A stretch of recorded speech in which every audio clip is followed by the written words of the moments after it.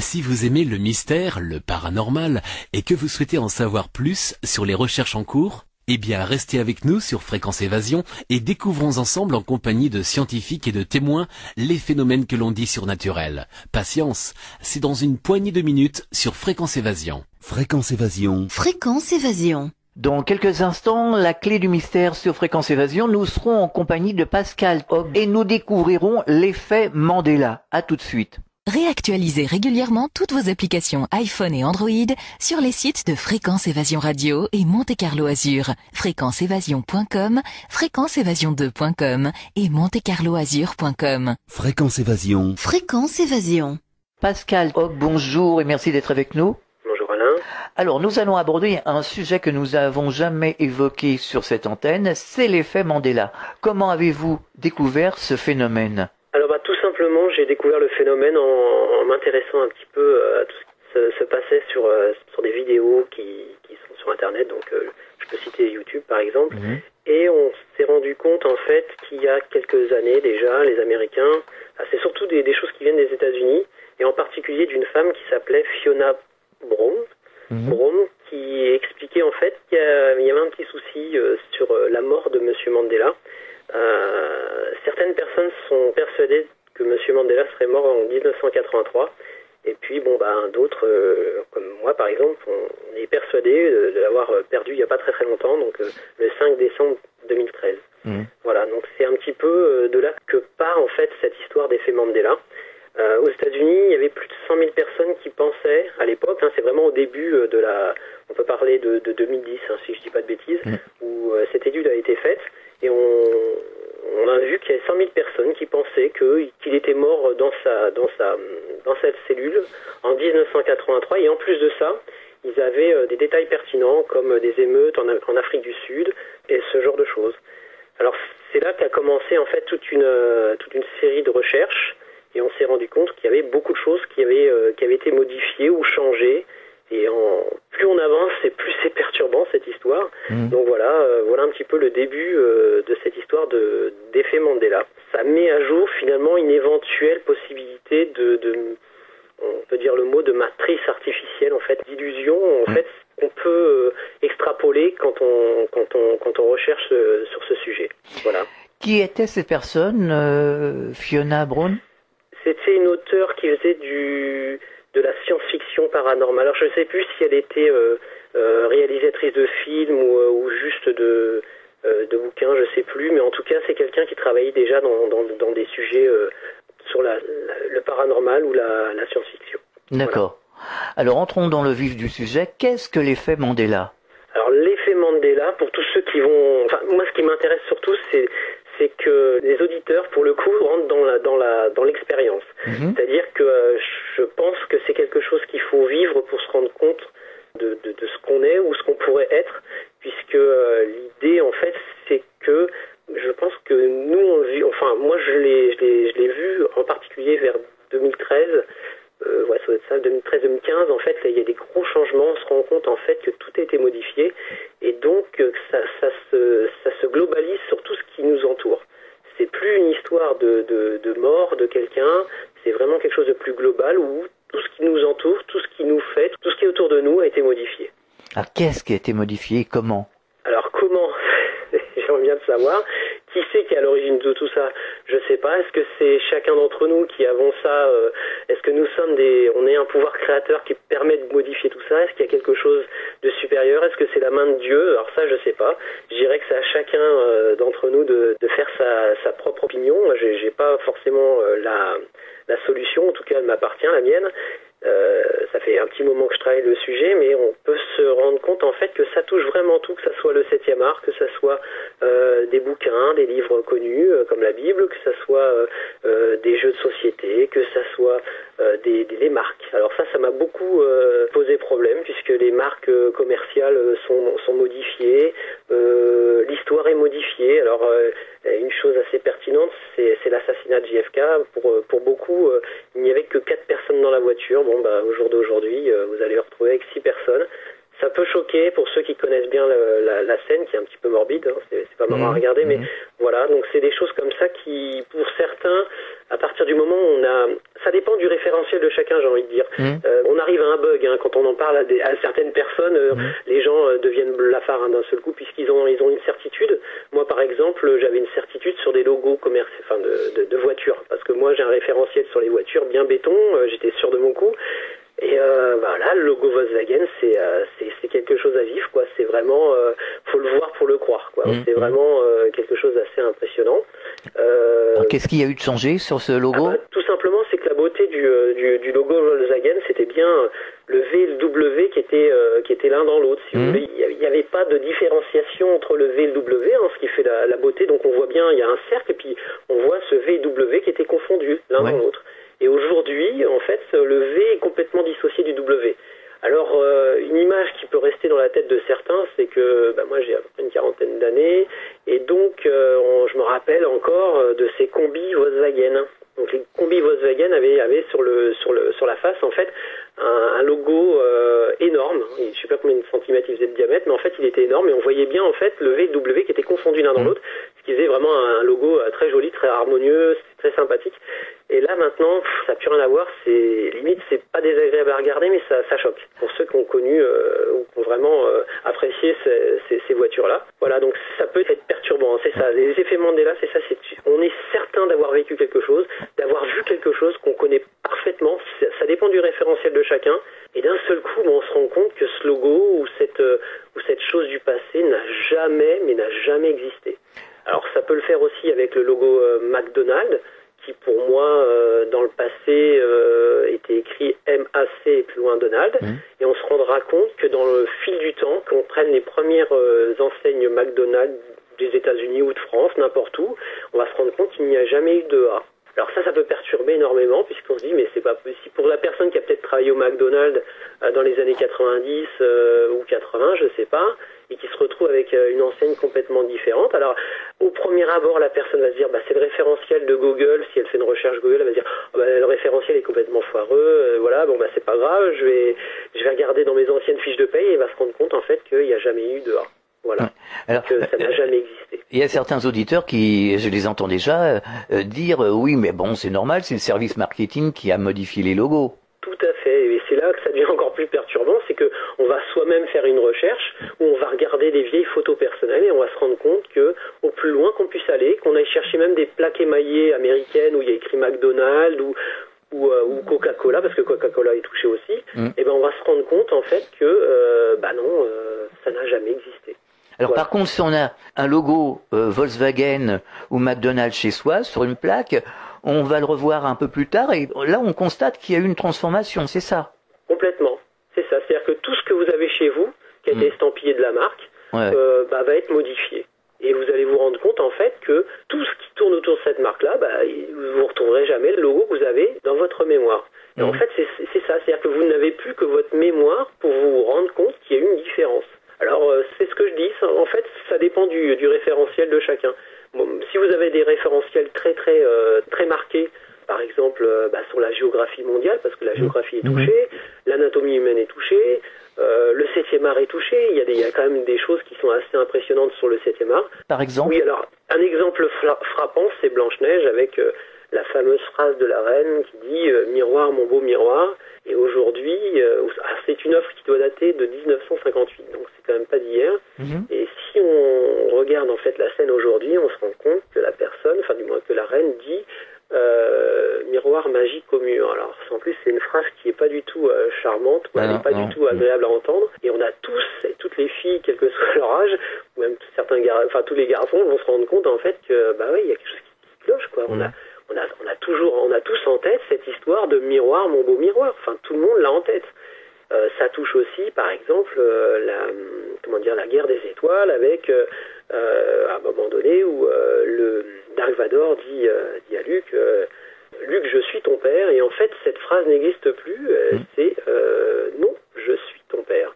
Alors voilà, c'est plein de petites choses comme ça qui ont été modifiées à tous les niveaux. Et un exemple aussi, par exemple, sur les jeux, euh, il y a le jeu qui est très connu qui s'appelle euh, Monopoly. Et donc euh, sur la boîte de Monopoly, en fait, on, on, se rend compte en fait que le monsieur avec sa canne et son chapeau, euh, on a, je pense qu'on a tous le souvenir qu'il avait un monocle en fait. Mmh.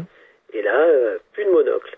Mhm. Donc ça fait beaucoup beaucoup de choses qui ont été modifiées, mais ça va encore plus loin que ça. Euh, on se rend compte que la géographie a été touchée, on se rend compte que l'humain, l'humain a été touché, les choses, les organes ne seraient plus à la bonne place. Voilà un petit peu euh, l'étendue des choses euh, qui, qui font que voilà ce qu'on peut appeler l'effet de Mandela et qui, bah, tous les jours on trouve de nouveaux exemples. Il y a d'autres exemples. Enfin moi ça, ça va encore plus loin puisque j'ai l'impression que ça touche aussi à la création, c'est-à-dire les animaux et même peut-être éventuellement les, les humains. Mhm. Voilà, voilà jusqu'où jusqu'où les choses peuvent aller. Alors moi j'ai un jeu de Monopoly chez moi. Si je, je, je vais voir ce jeu ce soir, je vais trouver le, le bonhomme sans monocle, c'est sûr. Tout à fait. Ouais. C'est exactement ça. Et l'image en fait de- du Monopoly avec le monsieur avec son monocle, on le retrouvera Mhm. jamais, nulle part, ni dans l'histoire, ni jamais. Mhm. qu'il n'a jamais existé. Il Mhm. n'existe que dans la conscience, dans la dans la mémoire des humains. Mhm. et encore peut-être pas de la totalité des humains, puisque euh, pour ce qui concerne euh, Nelson Mandela, dans ma propre, enfin mon propre couple, en fait, moi je suis persuadé de l'avoir vu euh, partir en 2013 Mhm. et mon épouse l'a vu partir en 83. Oui. Mais les échanges ont été assez, assez, assez forts d'ailleurs, puisque pour elle c'était une certitude. Elle avait tous les détails. Mhm. Elle se rappelait même du discours de, de son épouse. Euh, voilà, donc euh, c'est vraiment très tranché, je pense. Pour ceux qui ont un, un référentiel très, euh, voilà, très, très construit, euh, c'est- vraiment perturbant. On peut partir sur, euh, sur une théorie ou une, thèse, de, bah, voilà, de matrice, hein, tout simplement, Ouais. puisque bah, la réalité prend, prend un sacré coup pour le, pour le fait, puisqu'on se rend compte en fait que ça touche euh, une grande partie des, des, des, des humains, quoi. Enfin, moi j'en parle autour de moi et je vois bien que voilà, les gens percutent et ils ont exactement le même référentiel que moi. Est-ce qu'il y a des chercheurs qui se sont intéressés justement à ce phénomène, qui en ont pris conscience? Alors j'ai l'impression que le phénomène est très très marqué aux États-Unis, donc ils ont vraiment euh, fait beaucoup plus de travail de, de leur côté. Mhm. Et en France, il y a quelque chose qui me marque énormément, c'est que on voit que ça touche les jeunes, les jeunes, le, enfin les jeunes, quand je dis les jeunes, donc les, on va dire jusqu'à une vingtaine d'années, Mhm. euh, les gens qui sont scolarisés, qui font des, qui ont des petites chaînes, par exemple sur YouTube et autres, et qui, euh, qui voient les choses, qui s'en rendent compte et qui, euh, qui restent, voilà, qui restent un peu sans, sans réponse. Et ça ne va pas plus loin. C'est-à-dire que c'est un sujet qui, euh, qui reste confidentiel, qui n'est pas pris en, compte par, par les médias, je pense. Mhm. Hein. J'en ai pas entendu trop parler, en tout cas. Donc c'est vraiment très confidentiel, mais euh, je pense qu'il est temps vraiment de- d'ouvrir un peu, euh, un peu euh, plus large, euh, parce que c'est vraiment un sujet important. Est-ce qu'on a des hypothèses qui pourraient expliquer ou qui pourraient apporter un début d'explication sur ce phénomène? Alors ça, c'est un terrain un peu glissant, j'ose pas trop. euh, Oui, mais bon. ma- On pourrait, tout, je sais pas, peut-être. euh, Oui, alors il y a des pistes. Bon, Des pistes. parlent du CERN, voilà, Mhm. puisque c'est quelque chose qui pose beaucoup de questions. C'est vrai qu'on ne sait pas trop ce qui s'y passe, et puis c'est quelque chose qui a une certaine, euh, voilà, une certaine envergure. C'est assez Mhm. important. euh, on sait qu'il se passe des choses. On sait la recherche. C'est très, voilà. Est-ce que c'est, est-ce que c'est l'ouverture vers de, voilà, des, la multidimension, peut-être, Mhm. éventuellement. Après moi, je j'ose pas trop rentrer trop dans, dans la dans la dans la voilà dans ce dans Mhm. savoir où est-ce que ça enfin quelle est la cause. En tout cas, je le je, ce qui m'intéresse moi aujourd'hui, c'est vraiment de mettre l'auditeur devant cette problématique et de le, de le positionner dessus parce que je pense que tout le monde n'a pas fait ce chemin-là. Que les gens ont très rapidement balayé ce que j'ai fait au début, hein, c'est que j'ai balayé complètement cette thèse, cette théorie parce que je considérais que c'était euh, des, des changements qui étaient dus au temps. Mhm. euh, voilà, il y a- il y a- au niveau des marques, ça pouvait être euh, des changements euh, euh, dû à marketing qui a été revu. Euh, sur le MapMonde, je pensais que c'était aussi euh, des, des outils plus performants qui permettaient de voir en fait la Terre d'une autre manière et que on avait fait quelque chose au niveau de, de la MapMonde qui permettait justement de, de la voir autrement. Et puis en allant plus loin, en cherchant plus loin, on se rend bien compte que bah non non non non non, c'est toute la réalité qui a été modifiée quoi. Je vous propose de marquer un ton d'arrêt, on revient dans quelques instants.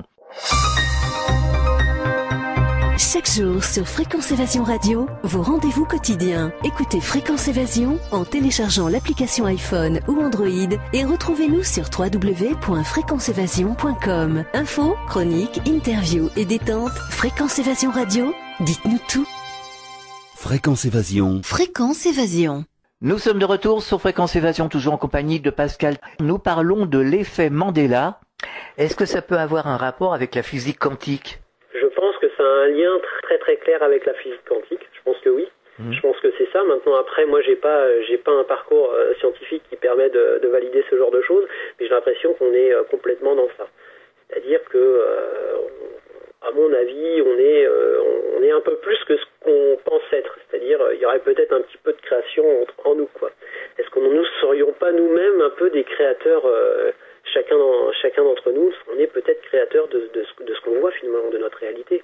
Donc, euh, ce qu'on voit, bah, c'est un peu euh, notre, euh, notre intérieur. Quoi. Ce qui, ce qui... Alors, si l'humanité change, et eh ben, forcément, tout ce qui se trouve autour bah, change aussi. On peut penser à ça, et c'est un peu, euh, quand on est dans la physique quantique, euh, l'expérience, enfin, la personne qui fait l'expérience rentre entièrement dans le résultat, on est d'accord. C'est bien possible que ce soit ça. Oui, mais alors si on est chacun des créateurs, ce qui est certain, c'est vrai qu'on est on est des créateurs, euh, on crée notre propre réalité. Pour autant, euh, on revient à cette euh, boîte de, de Monopoly, euh, on devrait voir des choses différentes. On voit, si moi je vais voir ma boîte de Monopoly, que je vois le bonhomme sans sans comment monocle, je pourrais le voir avec un avec un chapeau, je pourrais le voir autrement habillé autrement. et non, je vais le voir vraiment comme il est, mais sans sans monocle. Donc finalement, on voit tous la même chose. Oui, voilà. C'est-à-dire que là, on voit tous la même chose. Oui, c'est assez, c'est ça qui est perturbant. C'est-à-dire qu'on ouais. a tous cette image de cet homme avec un monocle. Aujourd'hui, on le verra sans le monocle, mais dire comment c'est possible, c'est un dégât mineur finalement, l'histoire du, du personnage avec son monocle. Mais l'anatomie humaine, c'est pareil, c'est quelque chose d'assez énorme. Se dire que ses reins sont en dessous ses poumons, c'est quand même aberrant quand on sait que, euh, voilà, pour nous, les reins étaient euh, beaucoup plus bas. Enfin, pour oui. moi, en tout cas, c'était beaucoup plus bas. Ou le cœur en position centrale, moi, pour moi, euh, je me rappelle très bien des cibles quand j'étais à l'armée, le cœur semblait être vraiment sur la gauche. Et là, pour le coup, on se retrouve avec une anatomie changée, on se retrouve avec une map monde changée, on se retrouve avec justement bah, voilà, des, des marques commerciales changées, mais dire qui fait ça Est-ce que c'est nous qui sommes capables de changer la réalité? Est-ce qu'il y a un système? Est-ce que, est -ce que le CERN en est capable? Est-ce que des choses qui viendraient d'ailleurs en seraient capables? Je, je, Là, par contre, j'ai pas la réponse. Moi, ce qui m'ennuierait, c'est d'emmener de, en fait l'auditeur vers de, des, des, choses qui me sont mmh. peut-être un peu, un peu personnelles, ou voilà, où moi j'y verrais peut-être quand je, je, je vois ces fameux mélanésiens qui sont des personnes de couleur, qui ont les yeux bleus, les cheveux blonds, qui n'ont pas, qui ont un ADN inconnu, qu'on mmh. découvre en 2016. Mmh. Mais est-ce que la main de Dieu n'est pas en train de travailler? Je sais pas.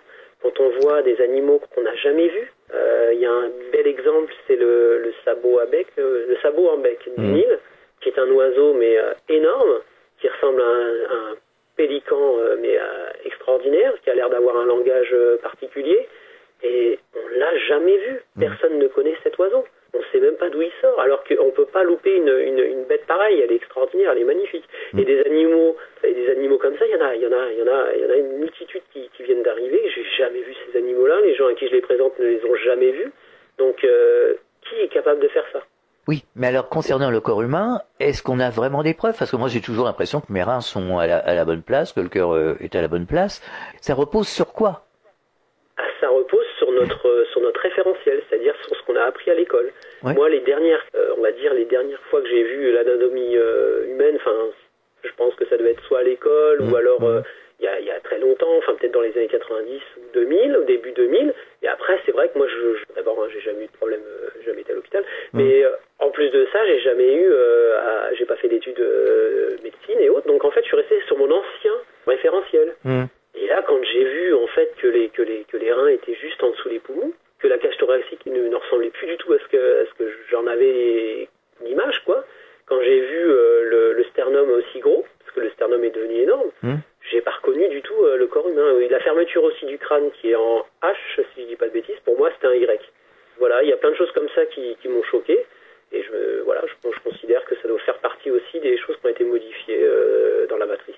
Donc euh, sur le corps humain, il changements. Sur la, alors sur la, la carte du monde, bah là c'est assez important aussi. On voit très bien que l'Amérique du Nord et l'Amérique du Sud ne sont plus l'une sous l'autre, mais vraiment déportées. C'est-à-dire que l'Amérique du Sud est complètement déportée. Et on s'en rend vraiment compte c'est quand on regarde les fuseaux horaires. On se rend compte en fait que le Chili, le fuseau horaire est on va dire, plus sur la droite que, que, que le fuseau horaire de New York. C'est aberrant. Il y a vraiment un décalage qui s'est créé. Et l'Australie, bah là, là, moi je suis resté sans voix quand je l'ai vu. C'est-à-dire que pour moi, ça n'a jamais été l'Australie, ça. C'est vraiment quelque chose qui est complètement différent. Bon, après, euh, la Papouasie-Nouvelle-Guinée et la Nouvelle-Zélande, bon, moi, pour mmh. moi, toute cette zone australe, euh, elle n'a plus rien à voir avec ce que j'ai connu. Mmh. étant plus jeune, j'ai fait des, des, des, petits dossiers sur, ce, sur cette zone euh, du monde qui me, qui me plaisait énormément. Donc euh, j'en avais fait, euh, voilà, au niveau géographie, j'avais une idée bien précise en fait dans mon référentiel de l'Australie. Et là, franchement, j'ai pas tout. Oui, mais concernant le corps humain, vous l'avez vu, constaté où et comment À travers des, des radios, des scanners Comment vous l'avez constaté? Alors j'ai repris le référentiel sur Google au début, donc euh, bon, bah, toujours pareil, hein, j'ai discrédité puisque je considérais que c'était trop Mm. euh, trop divergent par rapport à ce que moi je- j'en avais euh, l'idée quoi. Et c'est surtout les bah moi ce qui m'a beaucoup choqué c'est les reins, Mm. les reins et le et le, et le cœur vraiment en position euh, position euh, vraiment euh, presque centrale, on est légèrement sur la gauche mais est quasiment central et moi j'en avais euh, Enfin, je me rappelle très bien euh, à l'armée sur de ces fameuses cibles où on était obligé de tirer et puis euh, voilà quoi, il était clairement à gauche quoi. Donc voilà, ça ça m'a beaucoup choqué. Le sternum, ben c'est simplement une espèce de grosse cravate qui se retrouve plantée sur la sur la cage thoracique. Pour moi, nous, on avait une cage beaucoup plus fine, euh, beaucoup plus beaucoup enfin plus jolie finalement. Là, on a vraiment une cage beaucoup plus grosse, beaucoup plus longue. Euh, voilà, donc c'est vraiment euh, des, des, des changements assez. euh, Enfin, voilà, moi je sais même pas d'ailleurs le corps médical comment c'est possible de passer de, de ce référentiel-là à celui qu'on a aujourd'hui sans que c'est pu poser. Ça, je sais pas l'expliquer. C'est comme la géographie mondiale, on peut imaginer qu'un changement de géographie peut poser des problèmes quand on sait le nombre d'avions qui en, en vol euh, à tout moment. Euh, comment c'est possible? Je sais pas. Je sais, je sais pas expliquer. Tout ce que je sais, c'est que tout a été modifié, tout est changé. Oui, mais alors, quand on fait un scanner du corps humain aujourd'hui, euh, on voit les modifications. Oui. En D'accord. fait, c'est comme si le corps humain avait toujours été comme il est aujourd'hui. La seule chose qui diverge, c'est notre, euh, notre mémoire, notre référentiel. C'est-à-dire que l'idée qu'on s'était faite euh, des choses. C'est-à-dire qu'on voit plus du tout la même chose. Ou alors, on pourrait imaginer que ça soit un voile qui soit tombé, je sais pas. Je Oui, mais- je saurais pas expliquer.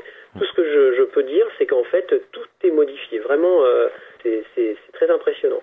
Une, une chose aussi au niveau de l'histoire, c'était Adolf Hitler. Pour moi, Adolf Hitler avait créé une race, enfin, il cherchait à créer une race qui était là, intégralement différente de ce qu'il est. Mhm. Donc, ça devait être, euh, lui, était un homme brun euh, aux yeux marrons, pour moi, de petite taille. Il, il créait une, il voulait créer une race qui de blond, grand, aux yeux bleus. La race aryenne. Tout à fait. Mm. Et apparemment, Adolf Hitler, bien, bon, on se rend compte qu'il avait les yeux de sa maman, qu'il avait des yeux mani- magnifiquement Mm. bleus, on va dire. Mhm. Voilà. Et, et c'est vrai que de le voir en fait avec ces yeux-là, ça lui donne un autre, euh, un autre aspect. Mm. Et moi, j'ai toujours entendu parler. Enfin, pour moi, dans l'histoire, même, euh, j'ai jamais entendu parler que qu'Adolf Hitler avait les yeux bleus. Ça, c'est encore une modif. Enfin, pour moi, ça, ça reste quelque chose de un- impossible. Quoi. Pour moi, Mm. vraiment euh, un homme brun, euh, petit, aux, aux yeux marrons. Mhm. Est-ce qu'il y aurait d'autres choses à dire euh, de pertinence sur ce phénomène, l'effet Mandela? Alors les moi les dernières recherches que j'ai faites, bah, c'était sur les Mélanésiens. C'est vrai que moi ça m'a vachement, enfin, beaucoup perturbé Euh, le fait que euh, bah, ce côté île Salomon, la Papouasie-Nouvelle-Guinée, l'Australie, donc la Papouasie-Nouvelle-Guinée se retrouve quasiment collée à l'Australie, ça c'est pareil, c'est complètement aberrant. Et la Nouvelle-Zélande qui est beaucoup plus basse, pour moi était beaucoup plus haute. Et donc ces fameux peuples mélanésiens euh, dont on ne sait même pas euh, quel est leur ADN, enfin franchement ça fait penser à, à une modification euh, bah, la main de Dieu, quoi, je dirais ça comme ça, je ne sais pas comment dire les choses. En tout cas, ces gens qui, qui, qui auraient un ADN, qui voilà, qui sortent de nulle part, on ne sait pas trop qui ils sont, on ne connaît pas trop leur ADN, on, voilà, on découvre des gens qui sont euh, différents. Ils alors bien sûr, on va me dire, voilà, ce sont des personnes de couleur avec les yeux bleus, bon, il y, a- y a forcément du métissage. C'est sûr que nous, Mhm. on peut penser ça, mais a priori, il n'y aurait pas de métissage. Ça devient compliqué, et l'ADN n'est pas reconnu. Les scientifiques ne reconnaissent pas l'ADN, ils ne savent pas d'où ils viennent. Alors certains scientifiques, euh, surtout en physique quantique, euh, nous parlent de modification de l'ADN. Est-ce que ça, ça serait pas dû justement à une modification de l'ADN du vivant en général et de la Terre? Bah, moi, je pense, euh, voilà, ça c'est l'une de mes, de mes voies de.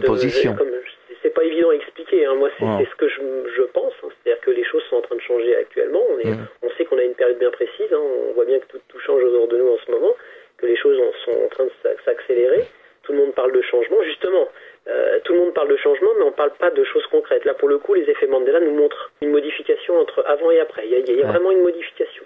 Et la seule chose qui n'a, pas changé, c'est, votre conscience ou votre, euh, votre mémoire. Et là, vous pouvez vous référer qu'à votre mémoire, puisque de toute façon, euh, tout a changé. Si vous avez un référentiel bien précis, vous allez vous rendre compte qu'il y avait un avant et un après. Mm. Seuls ceux qui, bon, bah, qui balayent tous les sujets vont, vont se rendre compte de rien. Mais celui qui se pose un peu euh, euh, des questions va se retrouver euh, voilà, devant, devant un état de fait où il y a un moment donné, il va se retrouver dans un, sur un de ces, ces, ces référentiels. euh, moi, ça a été par exemple euh, voilà, le logo Volkswagen. Bon, bah, pourquoi Parce que bon, je, je, je l'avais bien en tête. Bon, bah là, c'est c'est certain, on ne peut pas passer de, de ce que j'avais en tête à ça. C'est pas possible. C'est c'est vraiment totalement différent. La physique quantique nous montre qu'en fait, on est vraiment, euh, on rentre dans la, dans la, dans l'expérience et le résultat s'en trouve changé à partir du moment où, on- on- c'est-à-dire que la conscience prend une part de l'expérience. Mhm. Donc je pense qu'on est rentré dans quelque chose qui nous fait changer le monde. C'est-à-dire que toutes nos pensées, tout ce qu'on fait aujourd'hui a plus, euh, comment dire, a plus d'impact que dans le passé. C'est-à-dire que D'accord. certainement dans l'ancien monde, si on va dire ça comme ça, Mhm. euh, nos pensées positives et négatives n'avaient peut-être pas autant d'impact. Je pense qu'aujourd'hui, une pensée positive ou négative a énormément d'impact. Je Et, pense. et ça créerait un changement de paramètres, finalement. Complètement. C'est pour ça qu'il est important de surveiller ses pensées, Hmm, tout à fait. il me semble. Est-ce que vous donnez des conférences justement sur ce phénomène ou sur d'autres? Ah, moi, non, je ne donne pas de, de, Non. de conférence, Mhm. mais je, je trouvais qu'il était important et je suis très content de passer par, euh, par votre média pour Mhm. euh, vraiment discuter de ce sujet, puisque c'est vraiment, je pense que c'est primordial pour avancer, pour comprendre ce qui se passe en ce moment, les modifications qui se passent en ce moment, les changements, les changements de paradigme, tout ce qui se passe, que ce soit politique, mondial. Je pense que vu ce qui se passe aujourd'hui, moi je Mhm. pense qu'il faut vraiment travailler ces sujets-là. Et à mon avis, euh, si on prend tous en considération ce genre de, enfin cet événement-là, je pense que si on modifie nos pensées, on a les clés pour changer ce qui se passe autour de nous en ce moment. D'accord. Est-ce qu'on peut vous retrouver sur Internet? Ah, je n'ai pas de, Pas de référence Internet? J'ai pas de tout ça moi. Donc vous souhaitiez témoigner, tout simplement. Euh, moi, c'est juste un témoignage parce que je considère que le sujet n'est pas assez euh, développé, n'est pas assez, un- n'a- pas, n'a pas, n'a pas pris sa place sur la sur la toile. Mhm. Il n'a pas sa place aujourd'hui. Il faut absolument que euh, la masse prenne prenne en conscience euh, ce phénomène-là et qu'on trouve rapidement justement euh, la raison de tout ça. Hmm. Personne s'est penché sur la question, personne n'a écrit. euh, euh, Si, euh, je, je sais que Paul Ponceau Mhm. a fait, a fait une, une émission sur, sur le sujet, mais ça reste, je pense que le, peu de personnes se sont engagées sur ce sujet-là, qui pour moi vraiment, c'est l'une des clés, c'est l'une des chances qu'on a de pouvoir comprendre qu'on a changé, qu'il y a quelque chose qui a changé dans notre système, dans le système actuel. Très certainement euh, à l'arrivée de la physique quantique, mais c'est bon bah voilà, on était dans l'ère du poisson, on passe à l'ère du verso. L'ère du verso, euh, bon, est-ce que c'est euh, euh, la prise de conscience, la conscience qui prend le, pas sur le réel, je ne sais pas. En tout cas, voilà, on, est en train de changer de, paradigme, et là, on a une chance inouïe, c'est d'avoir ces effets Mandela qui finalement concrétisent quelque chose. Tout le monde vous parle de changement, mais finalement, le voit pas apparaître où il n'y a, a pas de, de concret. Là, c'est du concret. Mm. Si vous avez un référentiel sérieux, euh, vous allez vous retrouver avec euh, des questionnements et ça va vous permettre de, de commencer à démarrer un travail. Je Mm. pense que toute personne qui va commencer à travailler sérieusement sur ce sujet-là euh, va pas pouvoir lâcher le morceau. Ils vont être obligés d'aller au bout des choses, essayer de comprendre, toujours aller plus loin. Ils vont se mettre au travail. C'est un petit peu euh, le but de cette. euh, Enfin, pourquoi je- aujourd'hui je témoigne parce que je considère que c'est vraiment un des sujets qui permet de faire avancer Mhm. euh, tout le monde sur euh, sur euh, sur la prise de conscience et, et voilà quoi. Donc pour conclure, on pourrait dire aux auditeurs, euh, bah, observez, ouvrez l'œil, quoi. Tout Ah, simplement. l'œil, ouvrez l'œil est le bon et euh, voilà. Et puis euh, ça va déménager. Hein. C'est, c'est, c'est pas évident à accepter. C'est pas un sujet à balayer parce que de toute façon, je pense que le futur va encore être euh, encore plus perturbant que ça. Je pense que là, on a D'accord. vraiment un, un début de, de ce que va être notre nouveau monde et euh, les prochains changements vont être un peu plus radicaux. Pascal Hobb, merci d'être passé au micro de Fréquence Évasion dans la clé du mystère. On va ouvrir l'œil et à très bientôt alors. Bonne observation. À très bientôt. À très bientôt. Au revoir. Fréquence Évasion.